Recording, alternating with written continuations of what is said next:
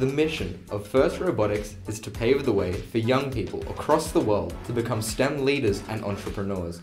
Team 3132, the Thunder Down Under, is a FIRST Robotics team for high school students based at Macquarie University.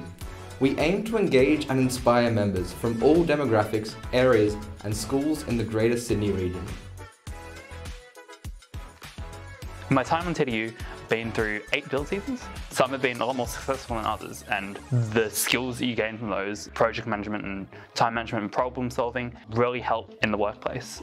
TDU was sort of my first larger foray into software. And I enjoyed writing code and seeing robots come to life because of it and the interesting problems that those entail. So I ended up doing software engineering and now I work at a software company future, I'd like to make things that are like robot related, things like aesthetics. And so uh, it has influenced me by teaching me different ways to approach a problem and like solving it, as well as how to like make things with all these machines.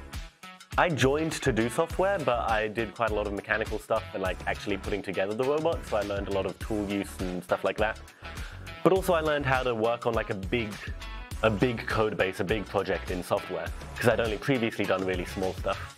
My plans for the future, I'm going to do something in the software field, so I suppose my skills here made me more comfortable working with the type of project that I would need to work with in that field.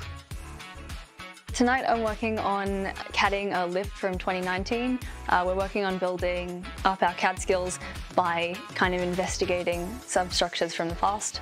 I've learned not only technical and intellectual skills, like um, machining and CAD and all of that sort of stuff, but also soft skills. I've learned how to work in a team and how to interact with others